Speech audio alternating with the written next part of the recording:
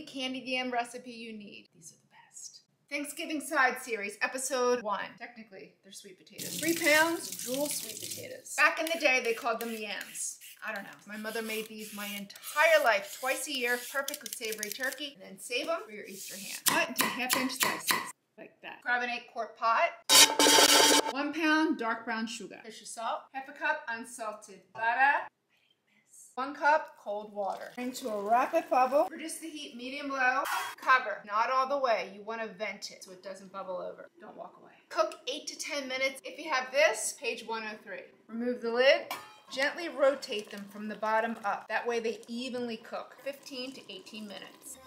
Once they're nice and tender, remove them to a serving dish. Increase the heat medium-high until it reduces and thickens, coating the back of a spoon. That's called nappe. It's French.